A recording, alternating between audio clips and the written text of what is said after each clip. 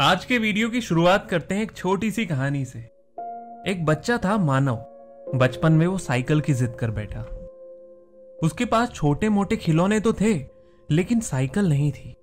उसे लगता था, मुझे बस एक साइकिल मिल जाए। उस दिन मैं खुश हो जाऊँगा। और किस्मत से एक दिन वो आ गया, जब मानव के पास चमचमाती हुई नई साइकिल आ गई। सच में उस दिन वो बहुत खुश हुआ। नई साइकिल जो मिल गई थी, लेकिन धीरे धीरे वो फिर उसी हालात में आ गया। अब उसे लगता था कि जिस दिन वो स्कूल छोड़ देगा और बड़ा हो जाएगा, उस दिन वो खुश हो जाएगा। वो इंतज़ार करता रहा और एक दिन आया जब उसका एडमिशन कॉलेज में हो गया। नए नए कॉलेज में वो बड़ा खुश था। अब स्कूल वाला डिसिप्लिन उसे फॉलो नहीं करना था। स्कूल की बंदिशें अब कॉलेज की आज़ादी में बदल गई। नए नए दोस्त, नई नई क्लासेस सब कुछ नया नया। ज़िंदगी जैसे एकदम बदल चुकी थी। कुछ दिन तक यह चलता रहा, लेकिन अब उसे फील होने लगा कि नौकरी मिल जाना सच्ची उपलब्धि। है जिस दिन मेरी नौकरी लग गई, उस दिन मैं खुश हो जाऊँगा। उसने मेहनत करना शुरू की और एक दिन सरकारी नौकरी में सिलेक्ट हो गया। उसका सपना पूरा हो गया था। उसने ज्वाइन किया, काम करना शुरू किया। शुरू के कुछ दिन बहुत अच्छा चलता रहा। बाद में उसे महसूस होने लगा कि नौकरी तो सभी करते हैं। जीवन में अच्छा लाइफ पार्टनर मिलना बड़ी उपलब्धि है।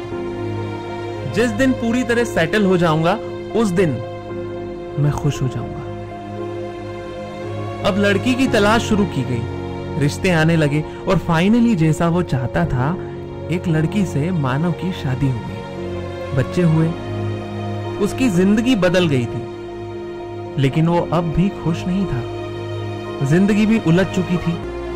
अब वो सोचता था, बच्चे सेटल हो जाए और फाइनली जिस दिन रिटायरमेंट होगा, उस दिन मैं सच में खुश हो जाऊँगा। और एक दिन वो भी आ गया, जब वो रिटायर हो गया।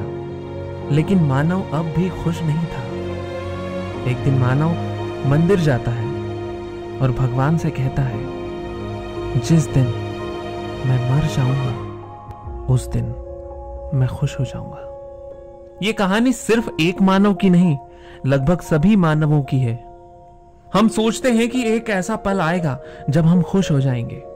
उस पल के लिए मर मर के जीते हैं, उस एक पल के लिए कई महीने, कई साल इंतज़ार करते हैं। खुशी मिलती भी है, पर ठहरती नहीं। क्यों? क्योंकि हमने खुशी को हमेशा बाहरी ऑब्जेक्ट्स में देखने की कोशिश की। कस्तूरी हिरण कस्तूरी की खुशबू में पागल होकर उसकी खोज में पूरे जंगल भटकता है।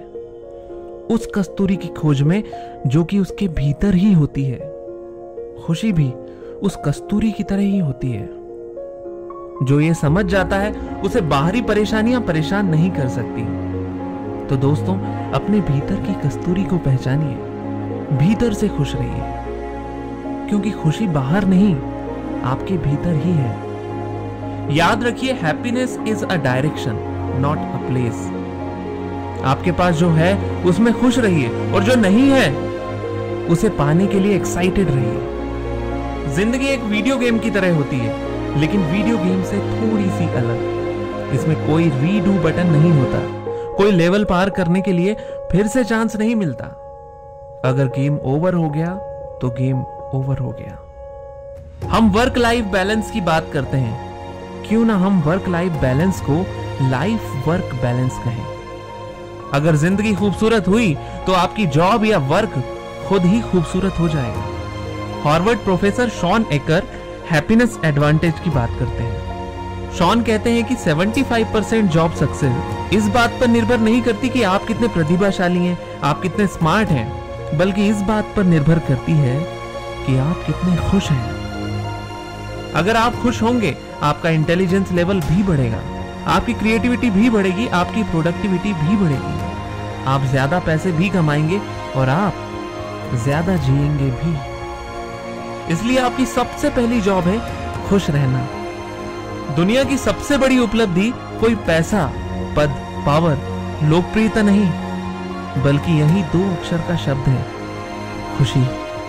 जो आज दुनिया के लिए बहुत दुर्लभ हो गया है। हम सोचते हैं कि ज़िंदगी में हम कुछ बन जाएँगे, कुछ पा लेंगे, कहीं पहुँच जाएँगे तो हम खुश हो जाएँगे। चीज़ों को, घटनाओं को शांत मन और धीरज के साथ स्वीकार कीजिए।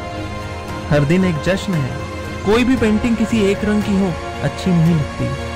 आपकी ज़िंदगी एक पेंटिंग है। दुख, संघर्ष, अभाव, उत्साह, निराशा, सभी जीवन के रंग हैं।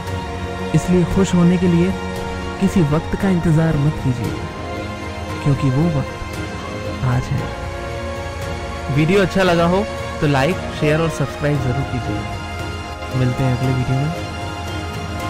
जय हिंद।